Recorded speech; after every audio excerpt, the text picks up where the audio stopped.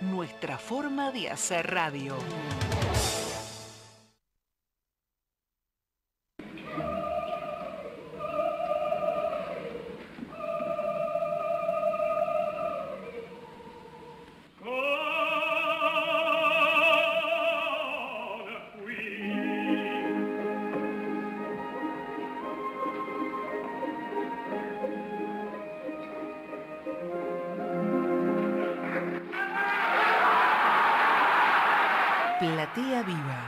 Es el programa radial que desde el 2001, con la conducción de Daniel Richuto, tiene por objetivo conocer y profundizar el mundo de la ópera, desde los principales centros líricos del mundo, en sus versiones más memorables y a sus figuras más destacadas.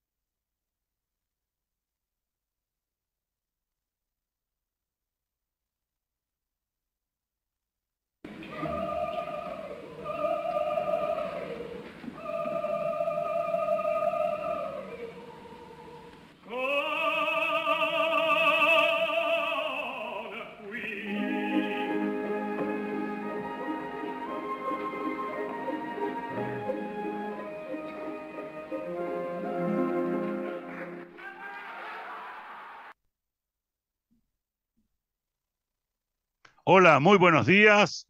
Acá estamos, programa 1056 de Platea Viva, 20 de noviembre del 2022. Anoten bien este teléfono, yo sé lo que les digo. 15 59 34 80 47. Porque ahí vamos a hacer el sorteo, los regalos de hoy. Nuestro correo, por supuesto, es plateaviva.gmail.com. Nuestra operadora hoy es Micaela, porque Sabrina está de vacaciones. ¿Cómo viaja esta chica, Dios mío? Pero Sabrina, que nos ha dejado a Micaela, que es una genia, es la que va a permitir que este programa llegue a todos ustedes. Platea Viva les agradece enormemente la colaboración de la familia Covielo, de la familia Heller y a todos los que informan de nuestras reuniones online, que ya terminan este año, pero que con su participación, con su presencia, permiten la continuidad del programa. O sea que les doy un abrazo grande, un beso grande a Saralía Martín, Alicia Palacios, Lidia Pontieri, Diana Doquenian, Marta Baragli, Laura Tonelli, Ana Krull, Ricardo Machín, Juan Carlos Ramonet, Alejandro del Río, y se ha agregado Etelvina Lopina, Amalia Repeto, Lala de Andrés, Ana María Calcaño, Marta Vitale, María Julia Ponintis y Julio Di Marco.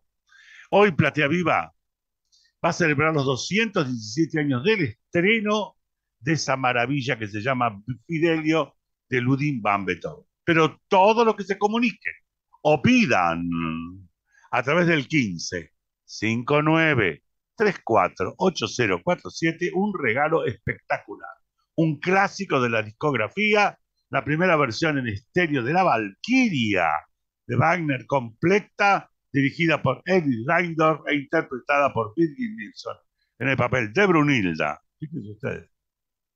Graham Brownstein como Siglinda, George London es el Botan, John Vicker, ex Mundo y Rita Gore Frica. Así que señores, vamos a disfrutar doblemente de estos cantantes. Los que hoy disfrutamos escuchándolos y los que van a tener la suerte de tener esa versión en sus casas.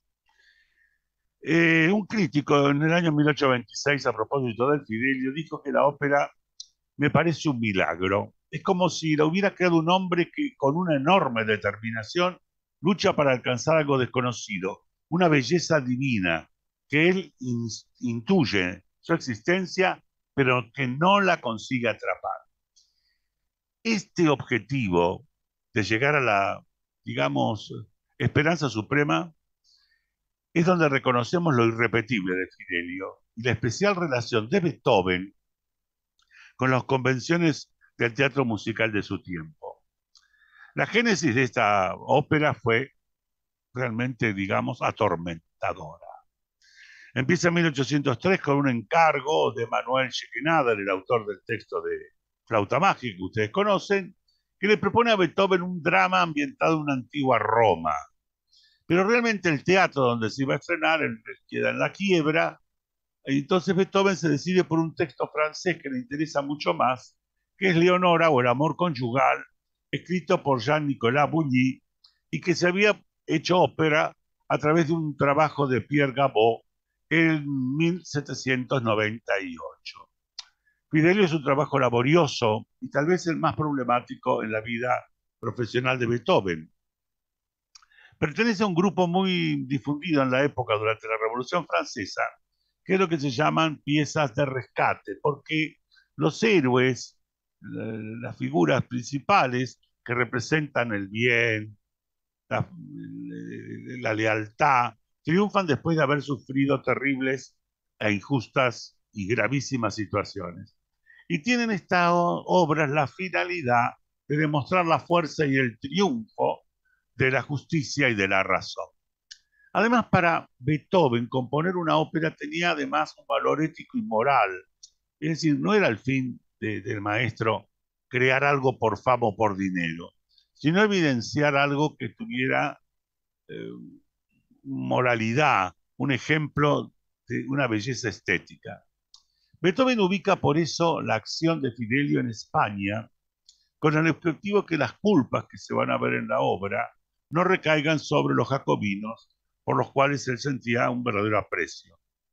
Pero además de demostrar el triunfo del bien, de las fuerzas del bien, presenta eh, unidos personajes de las distintas clases sociales, así que están unidos y mezclados nobles y plebeyos. El autor del texto en alemán es Joseph Sonlienter, y la ópera se estrenó en el Teatro de Alpien, es decir, es un teatro que el nombre exacto sería A orillas del río Bien, el 20 de noviembre de 1805 con escasa éxito. Beethoven preparó una segunda versión, representada en el mismo teatro en marzo, el 29 de marzo y el 10 de abril de 1806, con mucho éxito, pero un conflicto entre Beethoven y el director del teatro hace que Beethoven retire la partitura. El tema es que, claro, él tenía una participación, un porcentaje de las entradas vendidas, y Beethoven entendió que lo estaban estafando. Recién en 1810 publica la partitura de esta versión de 1806, pero en 1814, tres cantantes, Ignaz Zahl, Jonan Michel Bolk y Karl Will Müller, que van a ser los primeros Don Fernando, Don Pizarro y Rocco, le propusieron a Beethoven reponer Fidelio en una sola función a beneficio de los cantantes. Beethoven consideró necesaria una revisión de la obra y que la realiza entre el mes de marzo y mayo de 1814 y finalmente esa versión se va a estrenar el 23 de mayo de 1814 con gran éxito.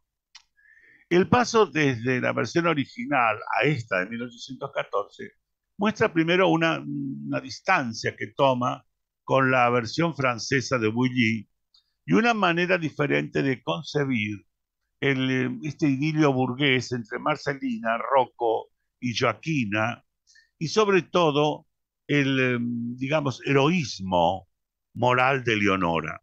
Esta es la versión definitiva, abandona totalmente en esta de los estilos que habían presentado las anteriores, tanto la del 805 como 1806, porque en Fidelio de 1814, que es la versión que conocemos nosotros, la tensión es enorme, no pau, no para.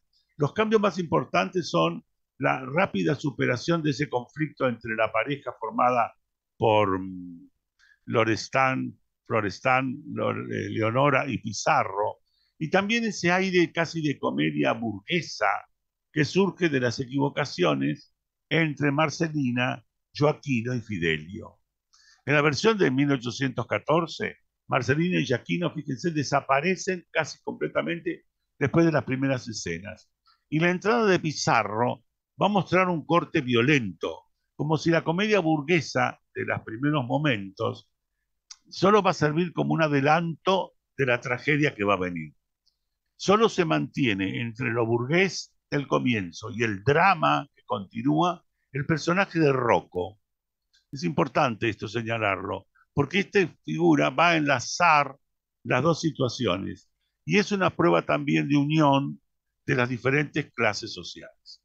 Así que vamos a ir a la primera parte de esta versión estupenda, realmente estupenda, con un elenco extraordinario, tomado en viva en el Teatro La Scala de Milán el 20 de diciembre de 1960, dirigida por nada menos que Herbert von Karajan, y con un elenco excepcional. Don Fernando es Frank Kras, Don Pizarro es Hans Hotter, Florestan, John Vickers, Leonora Birgit Nilsson, Rocco Gotthold Flick, Marcelina Vilma Lipp y Joaquino Gernard Unger. No se olviden que los que llamen al 15 5934 8047 y me pongan la palabra quiero, de regalo se llevan hoy la versión completa de Valkyria por Billy Nilsson, John Vickers, Chris Rubenstein, un elenco extraordinario dirigidos por Eric Line. Vamos a la escala de Milán, vamos al primer momento musical de Fidelio de Beethoven. Adelante, por favor.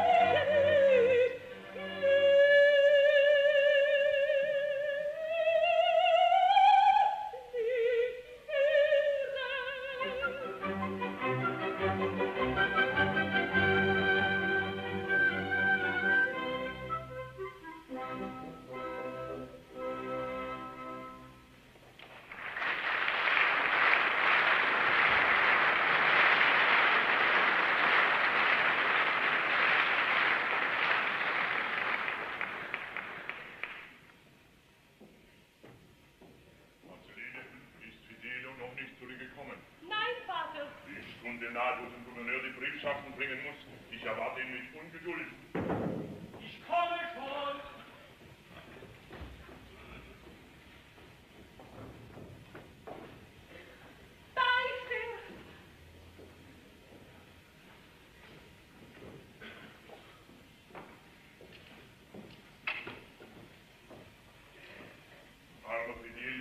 Diesmal hast du zu viel aufgeladen.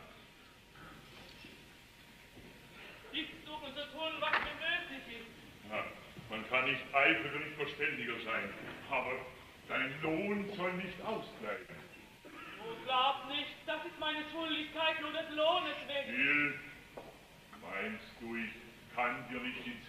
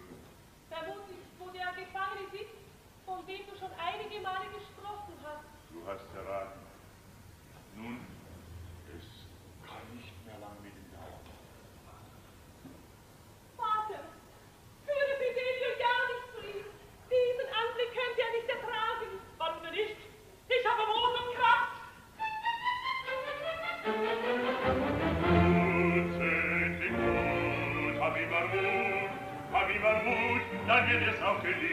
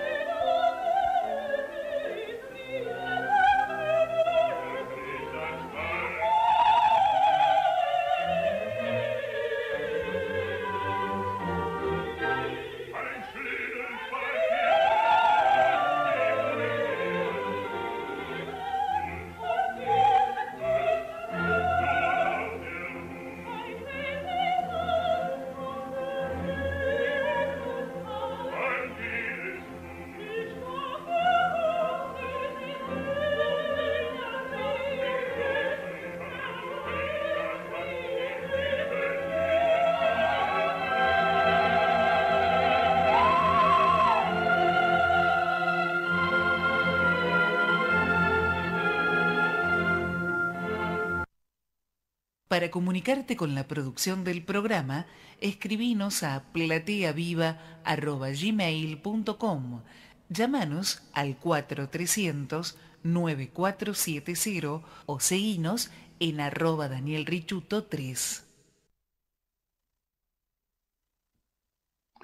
Bueno, bueno, ahí estamos. Bueno, ese teléfono ni llamen porque no estoy en la radio. Tienen que llamar al 15 59348047, porque ese es cuando uno hacía el programa en vivo. Pero ahora lo hago desde casa, como ustedes se darán cuenta. Señores, estamos disfrutando el 217 aniversario del estreno de Fidelio de Beethoven. En una versión magnífica, los comentarios que estoy recibiendo son extraordinarios, con un elenco excepcional. Don Fernando es Frank Kras, Don Pizarro, Hans Hotter, Florestan, John Vickers, la Leonora es nada menos que Birgit Nilsson, Rocco, Gottlieb Branfrick, Marcelina, Vilma Lipp y Joaquino Gerard Unger, todos con la dirección en la escala de Milán, la orquesta y el coro eh, de Herbert von Karajan, una versión en vivo con un sonido extraordinario del 20 de diciembre de 1960. Realmente que la idea del amor conyugal y la felicidad en el matrimonio es tanto compartido por Marcelina de manera muy sincera en su deseo de casarse, como por Leonora, que ya conoció esa felicidad y está intentando, por supuesto, recuperarla.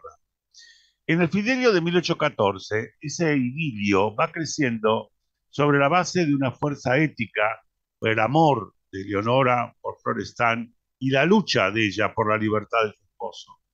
Rocco, que está presente, es un testigo tanto de los problemas o las situaciones de los protagonistas como el objetivo verdadero que va a terminar con eh, diciendo él la verdad, decía el gobernador. Pero desde el momento de la entrada de Pizarro desaparecen casi por completo las figuras de Marcelina y de Joaquino. Y las transformaciones son tan evidentes, tanto en el texto como en la forma musical. Fíjense las voces a partir de la entrada de Pizarro son tratadas como si Beethoven quisiera con, con fuerza, digamos así, que era eh, romper los límites y con una fuerza vocal y tensión, porque los protagonistas hablan un lenguaje intenso, creando además una notable diferencia estilística entre las primeras escenas, ¿no es cierto?, que mostraban un mundo de calma, una calma cotidiana, y de pronto surge una enorme violencia con la presentación de Pizarro. El cambio está marcado por la entrada de Pizarro, que es el ejemplo de la maldad.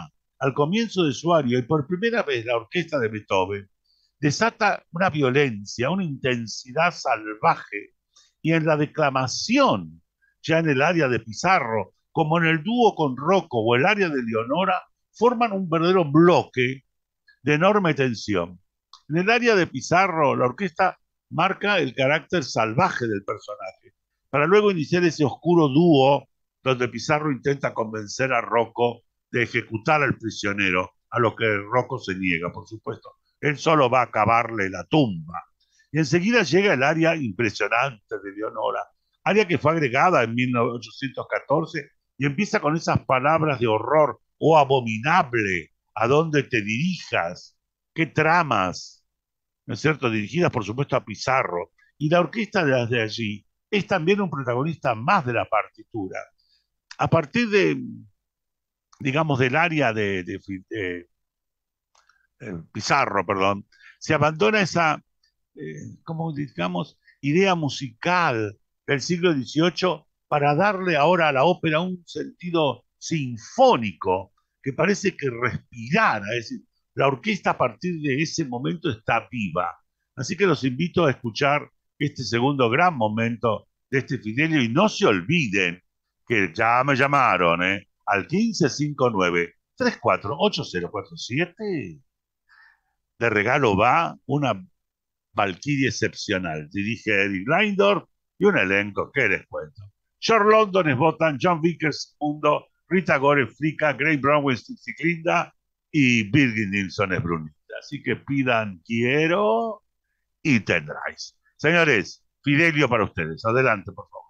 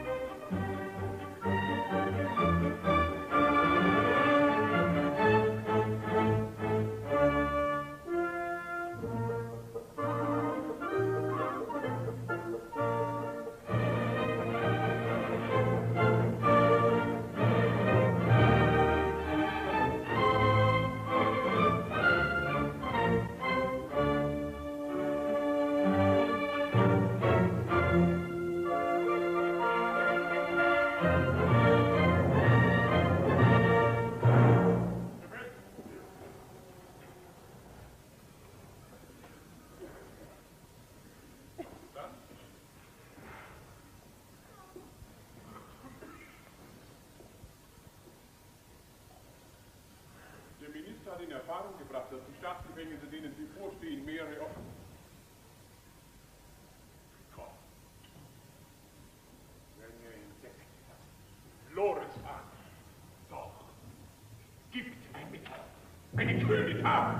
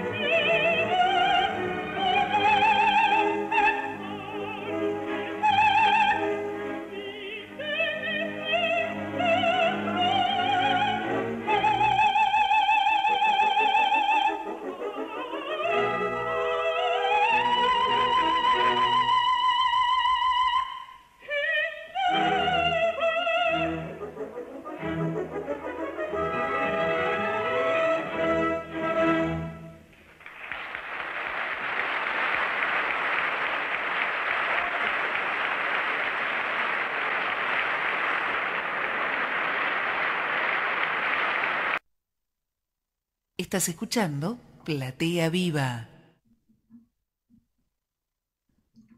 Escuchando y disfrutando, porque realmente la lección de canto que acabamos de escuchar realmente es asombrosa. El teléfono es casi un satélite, ya vuela por los aires solo. Realmente es asombroso, porque fíjense si uno admira a Mozart por la manera en que maneja las voces en función de los personajes. En Fidelio, Beethoven profundiza aún más este concepto. Es decir, lo primero que vemos es que eh, Beethoven refuerza el feminismo, que ya lo inició Mozart, nada menos que en la flauta mágica, al permitir que Pamina pueda ingresar a la masonería. Pero Beethoven, con respecto a Leonora, en lugar de mostrar una figura, digamos, pasiva del destino, es una figura desafiante y que lucha por su amor. Además, cómo va presentando los personajes. Es el caso de Florestan. Nosotros sabemos que existe en el primer acto, pero no lo vemos y no lo escuchamos hasta el segundo. Leonora, que aparece como Fidelio, es que se atreve a todo por, por su amor, por el amor de su esposo. Y luego está la figura de Pizarro, que es el opresor. Pero entre ellos están las otras personajes cuya presentación musical está relacionado con la forma de vida que tiene, es decir, una vida sencilla, una vida ordinaria. Por ejemplo, Rocco está, ¿no es cierto?, hablando de la economía, los jóvenes, Marcelina, que rechaza la austeridad de la prisión donde vive para soñar con un, romance, Joaquino, que solo persigue a Marcelina, que realmente el que ella quiere a Fidelio. Esta sencilla historia está ubicada en un primer plano, un muchacho que quiere una muchacha que a su vez ama a otro muchacho. Está ocurriendo, pero todo esto ocurre en una cárcel. Pero genialmente, Beethoven nos hace olvidar que estamos en una cárcel, en una prisión. Por eso, eh, con esas melodías sencillas, tranquilas, presenta un simple conflicto amoroso. Entonces, cuando entra Pizarro, determinado a asesinar al prisionero, ahí es cuando entramos a otro mundo, un mundo diabólico, un mundo de rabia, un mundo de odio, un mundo de maldad.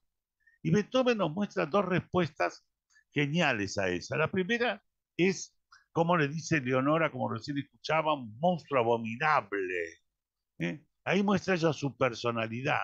Y luego llega una música excitante y bella cuando Leonora, Fidelio, abre las puertas de la cárcel para permitir que los prisioneros caminen en el aire fresco durante un tiempo. Y ellos responden con un himno a la libertad que es sublime, glorioso, divino.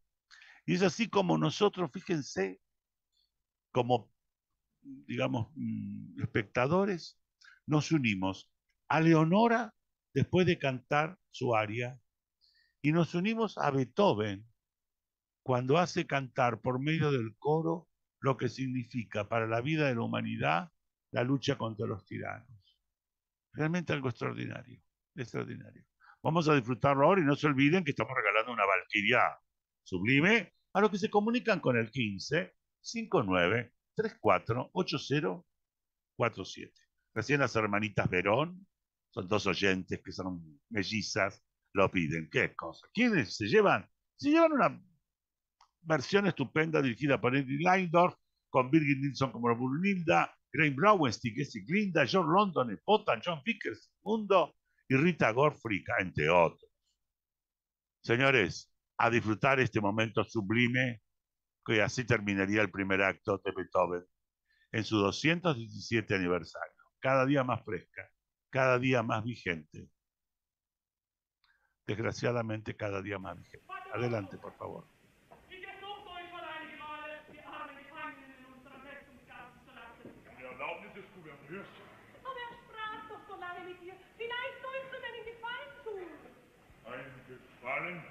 Du hast recht, da kann ich jetzt wagen. Wohl denn?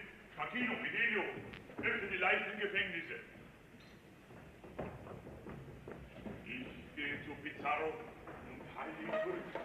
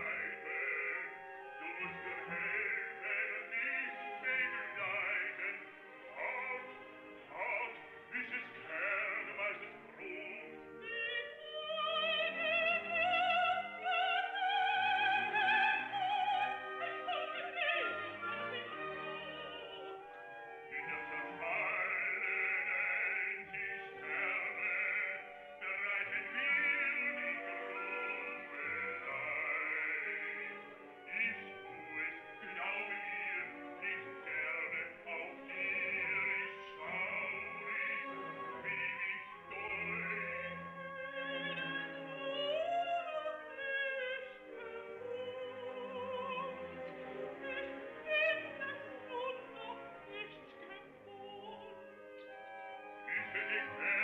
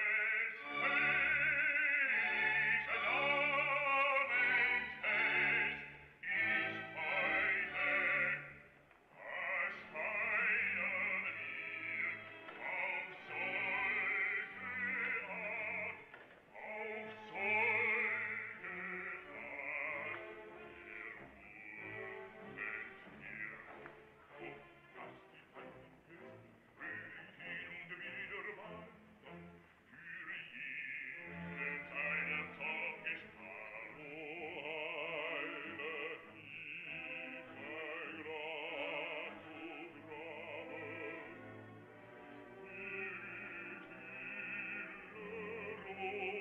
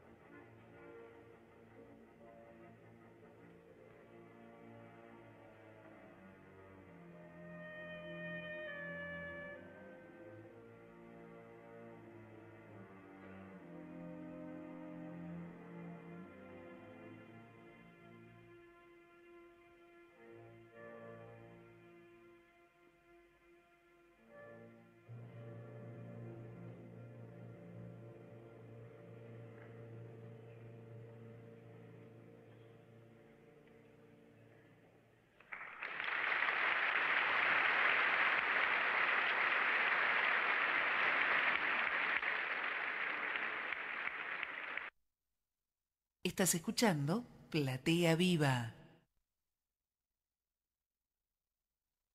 Y realmente estamos escuchando un Fidelio sublime, tomado en vivo en la escala de Milán el 20 de diciembre de 1960, con nada menos que John Vicker como Florestan, Birgit Nilsson, Eleonora, Rocco es Gottobran Frick, Hans Hotter es Don Pizarro, Van Krass era Don Fernando, Marcelina es Vilma Lip y Joaquino Gernard Unger, todos dirigidos por von Karajan.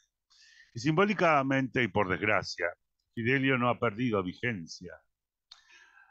Recordemos que fue un título que se utilizó para que muchos teatros europeos reabrieran su programación después de la Segunda Guerra Mundial, cuando la paz y la libertad volvieron como símbolos principales de la humanidad. Pero acá hay que recordar las palabras de un gran director de orquesta, Wilhelm Furtwängler, en 1948 cuando dijo que los acontecimientos políticos ocurridos en Alemania, que disolvieron el sentido original a las naciones de dignidad humana y de libertad, esta ópera nos trajo, gracias a Beethoven, consuelo y valor. Extraordinarias palabras. En el segundo acto estamos en la cárcel donde Florestan está prisionero. Es un solo bloque, un bloque oscuro de tensión. Bastan unos pocos compases iniciales para mostrarnos la gravedad, la terrible prueba que tiene que atravesar Florestan. Tenemos un hombre presentado por la orquesta y con su canto, con una música oscura, música casi de desesperación, y con una primera parte del aria que muestra resignación, pero él tiene una visión, ¿no es cierto? Una visión de ver a su esposa, Leonora, que viene a rescatarlo como un ángel, como si fuera el ángel de la libertad. Inmediatamente viene un dúo entre Leonora y Rocco, también lúgubre, oscuro, sombrío. Deben camarle la, la tumba, la fosa, donde van a enterrar allí a, a Florestan. Después hay un momento de agradecimiento cuando Florestan agradece, la verdad, con ese símbolo religioso que le han dado pan y vino, ¿cierto? Es decir, la misa, es algo asombroso, milagroso. Pero todo ese terceto de calma, de golpe, se desaparece cuando aparece Pizarro listo para matar a Florestan, que será frustrado esta vez por Leonora, ya no Fidelio, que se revela al fin, ¿no es cierto? Y además por una señal, una señal, una llamada de trompeta anuncia la llegada del enviado real. Pero esa llamada de trompeta tiene otro sentido, es la voz del otro mundo. El mal ha sido vencido. Y acá hay que preguntarse cuál es el rol de Rocco en toda esta escena. Está presente en el momento en que su jefe se, se muestra como un monstruo. Y además como su futuro yerno, Fidelio, de golpe es una mujer. Todas las dudas están en el canto y en su compromiso, porque al final va a decirle la verdad al gobernador. Y eso lo hace Beethoven porque busca identificar a Rocco con nosotros mismos, porque aunque muchas veces nos comprometemos con la libertad, algunas veces somos cómplices de los tiranos. Rocco, quien durante mucho tiempo pensó en nada más que asegurar a su familia un buen pasar, pero cuando el drama aparece entre sus ojos, ¿no es cierto? Se niega a tomar parte de ese acto inmoral. Por eso Beethoven nos está diciendo, Rocco, somos nosotros. Finalmente, Leonora y Florestan, ya seguros de salvación, terminan ese, este esta parte del acto con un dúo luminoso, el reencuentro de los dos esposos. Volvamos entonces a la escala de Milán, 20 de diciembre del 60, dirigida por Karajan, esta versión sublime. Y ahora escuchamos al extraordinario John Vickers y disfrutemos, realmente disfrutemos. Adelante, por favor.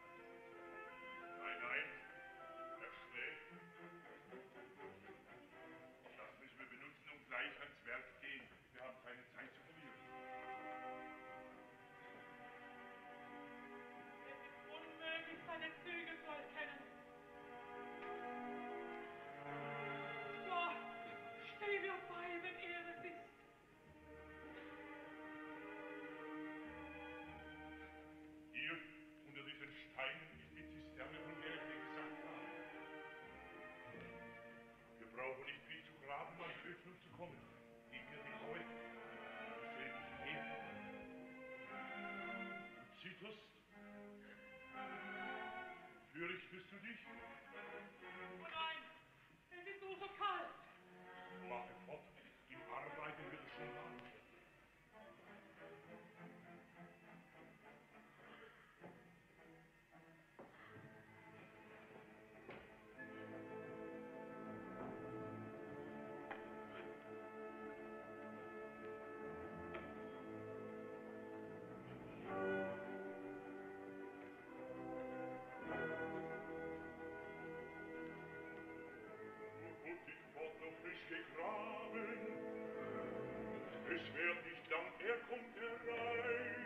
Ich werd nicht lang, ich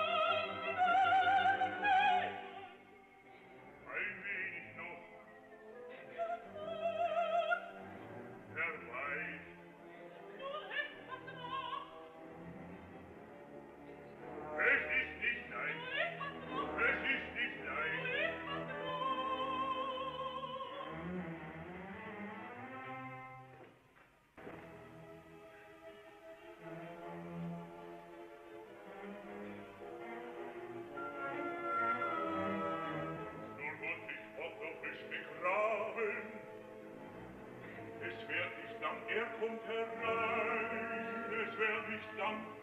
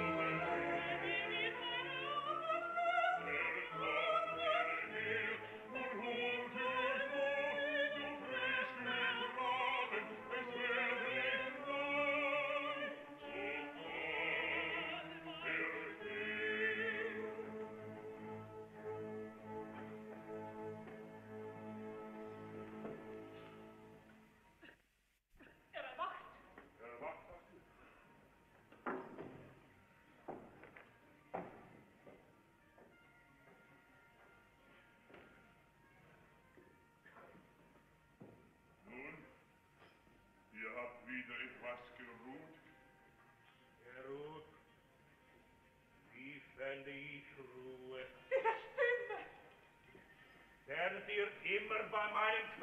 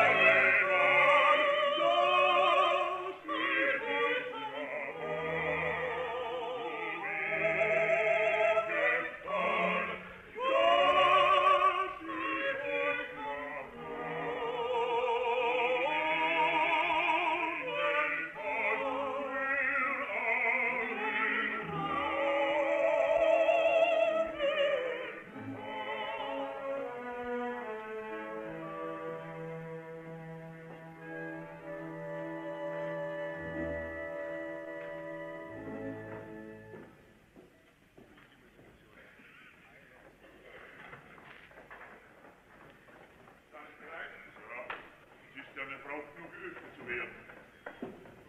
Soll ich ihm die Ketten abnehmen? Nein, die Zeit drängt.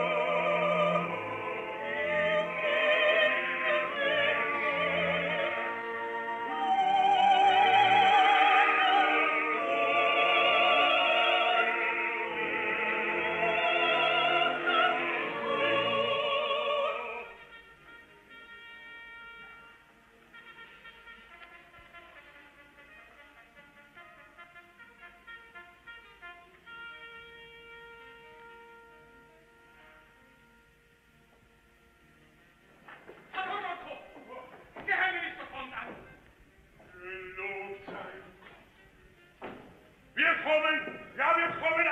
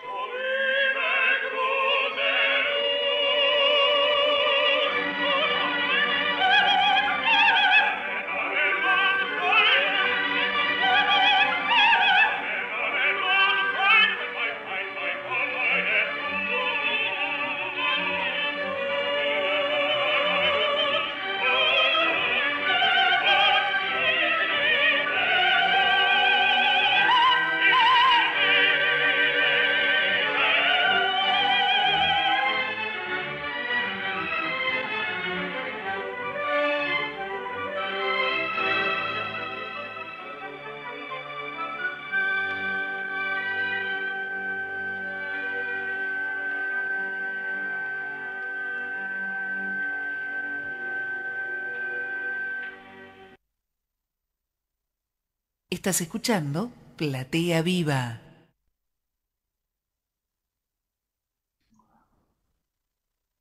Maravillosa versión. La Billy Nilsson y John Fickers eran lo mejor en su momento para estos papeles. La Nilsson está particularmente inspirada, comunicativa.